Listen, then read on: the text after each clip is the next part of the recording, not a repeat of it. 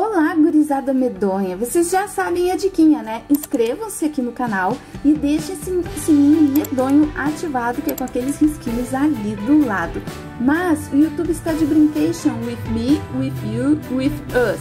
Então, não basta isso para receber as notificações. É preciso deixar um like maroto e um comentário aqui no vídeo. Se tu não tens nada para comentar a respeito do vídeo, deixa uma coisa bem aleatória mesmo, aquele comentário engordite, que o YouTube vai entender que tu curte esse canal e quer as notificações.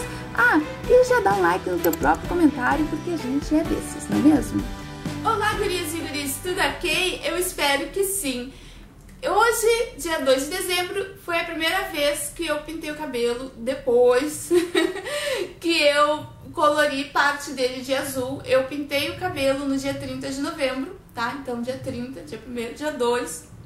Então, eu lavei o cabelo e pra lavar o cabelo eu separei essa parte loira, né?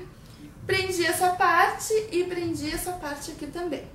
E fui pro chuveiro. Lavei primeiro essa aqui e prendi. Daí depois lavei essa parte e prendi. Saí do banho e fiz uma hidratação que é aquela minha hidratação de sempre.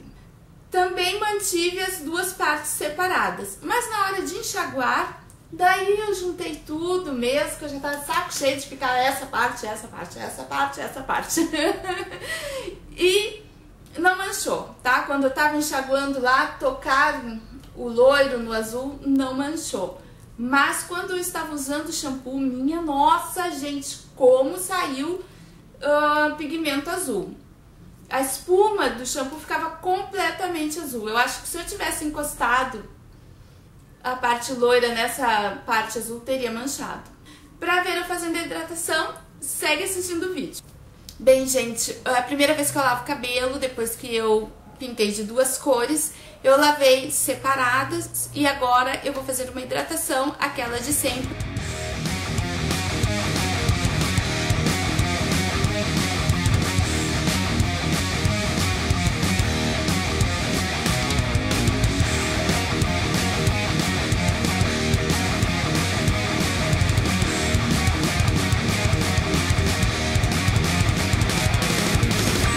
Agora eu vou fazer a misturinha.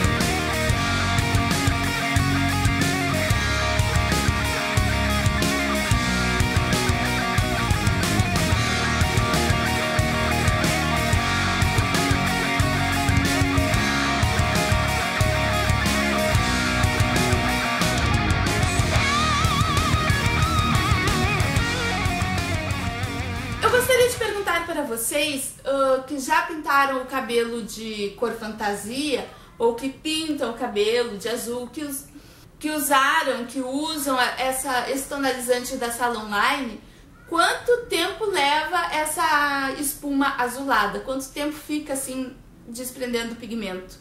É para sempre? Será que se eu começar a lavar a cabeça normal, vai manchar a parte loira? Porque assim, tá batendo a preguiça, gente. Eu lavei dessa vez, mas ah, vocês já sabem, eu sou jaiminho, eu gosto de evitar a fadiga, então tá batendo uma preguiçinha de fazer isso toda vez que eu for lavar cabelo.